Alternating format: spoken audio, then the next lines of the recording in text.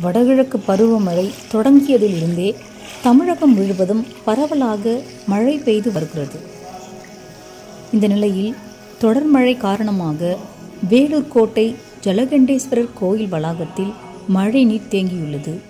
மழை நீர் வெளியே செல்ல வழி இல்லாததால் கோவிலிலேயே தங்கி கிடக்கிறது. பக்தர்கள் சுவாமி தரிசனத்துக்கு வந்தபோது அவர்கள் பெரும் சிரமத்தை சந்தித்தனர்.